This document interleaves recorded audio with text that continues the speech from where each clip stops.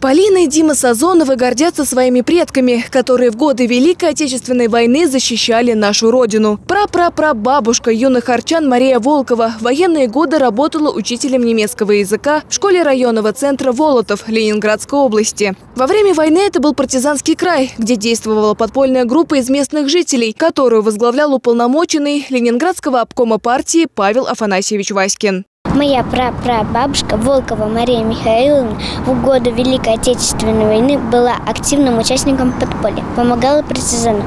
3 февраля 1942 года была расстреляна карателем СС. О героях незримого фронта, в том числе о бабушке Полины и Димы Сазоновых, Виктором Лукиным была написана книга «Подполье возглавлял Васькин». Сейчас в Волтовском районе на месте захоронения подпольщиков установлен памятник с именами героев. Мой прапрадедушка, родитель Николай Иванович, во время войны был стрелком-автоматчиком, участвовал в обороне Ленинграда.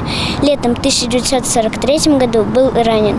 Николай Родителев, прапрадедушка Полины и Димы, также участвовал в освобождении городов Болхов и Карачев. Был награжден орденом Отечественной войны третьей степени.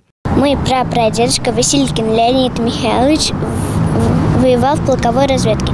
Во время Орловской Курской битвы был тяжело ранен за проявленное мужество, был награжден орденом славы третьей степени. Леонид Василькин воевал в полковой разведке 407-го стрелкового полка Брянского флота. Он, так же как и Николай Родителев, участвовал в освобождении городов Болхов, Карачев и Орла. Помимо Ордена Славы третьей степени, Леонид Михайлович был награжден орденами Трудовой Славы всех степеней и орденами Великой Отечественной войны второй и третьей степеней. Спасибо всем, кто жизнь отдал, за Русь родную, за свободу, кто страх забыл и воевал, служа любимого народа. Спасибо вам, ваш подвиг вечен, пока жива моя страна. Вы в душах нашем, в нашем сердце. Героев не забудем никогда.